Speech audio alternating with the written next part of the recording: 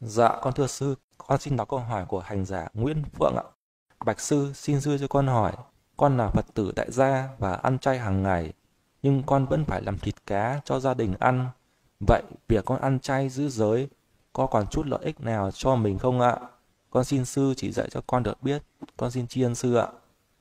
ăn chay như vậy chả có cái lợi ích gì chả có cái tác dụng gì chả có cái ý nghĩa gì chẳng có cái lợi lạc gì cả thật ra thì uh, cái ăn nó không quan trọng mà cái hành động ấy nó mới quan trọng.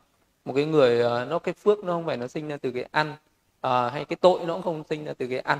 Mà ờ, mà nó sinh ra từ cái tâm tham hay là không tham ấy. ví dụ mình ăn chay mà mình tham với cái món ăn chay nó vẫn sinh ra cái bất thiện nhá.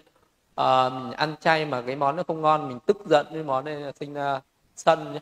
Hay là à, mình không được ăn những cái món chay như mình muốn nó vẫn sinh ra sân hận nhá mình ăn rồi mình tưởng là ăn này là là là tu tập giỏi lắm này đấy là si mê tà kiến nhá. Mình ăn chay ờ, không phải đã là một pháp môn gì cao quý hết.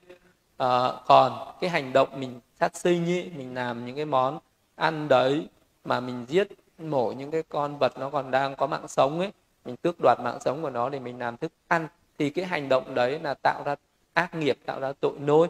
Dù mình làm mình không ăn thì cái tội đấy mình gánh hết. Những người ăn kia này ta trả có Vậy thì à, tất cả những cái tội lỗi do mình à, đã làm những cái món đấy thì mình gánh. Còn những cái người ăn không ai gánh gì hết. À, ăn à, vì vậy cho nên là mình ăn à, cái gì cũng không quan trọng. Mà quan trọng là cái việc làm ấy. Mình làm cái món ăn đó nó uh, có tạo ra bất thiện hay không? Hay là thiện? Thì uh, nếu như mình làm mà mình mua sẵn người ta làm sẵn rồi người ta giết mổ rồi mình làm thì không có tội gì. Còn nếu mình trực tiếp giết mổ thì mình gánh hết tội nôi còn ăn thì nó quan trọng là trong cái lúc mình ăn ấy, mình phải quán về ăn đấy là đất nước nửa gió, ăn vào để nuôi cái đất nước nửa gió, cái thân này thôi. Để mình ni tham, ni sân và không có si mê tiếng ngã mạn gì với cái ăn đó thì nó mới không có tội. Còn nếu mình ăn mình còn tham, còn sân, còn si với cái thức ăn đó thì ăn cái gì nó cũng thành tội.